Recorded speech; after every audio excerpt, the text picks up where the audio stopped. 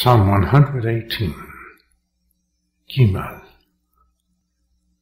Retribue servo tuo, vivificame, et custodiam sermonis tuos.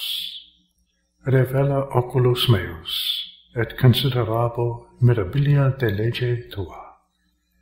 Incula ego sum in terra, non abscondas a me mandata tua concupivi da anima mea, desidere justificationes tuas in anne tempore. Increpasti superbos, maledicti qui declinant amandastis tui, aufe a me opprobrium e contemptum, quia testimonia tua exquisivi, et enum sedurum principes, erarversum mei loque bantur, sero saltum tuus, exe cebatur in justificationibus tuis.